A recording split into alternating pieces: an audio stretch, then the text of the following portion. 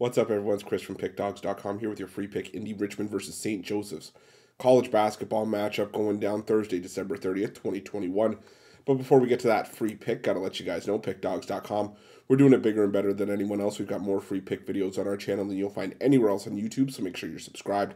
And also take advantage of our free sportsbook bonus offer. The link in the description of this video below. I always say, who doesn't love getting free bets and free money?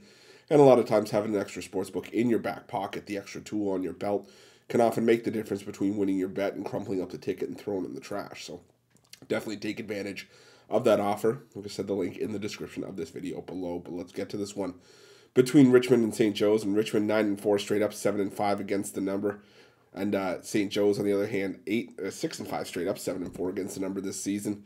And uh, St. Joe's coming into this one off of a 77-73 loss on the road at the hands of Bradley but still making it six covers in their last seven games, so not too shabby from uh, from St. Joe's standpoint, and also four wins in their last six games. Meanwhile, Richmond Spiders, winners of six straight after a sixty-one to fifty, sorry, eighty-one to fifty win over Bucknell last time out.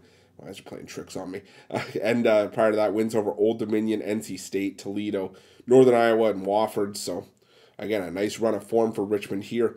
But you know, there there are certain spots where we're seeing um, Richmond failed to cover the spread.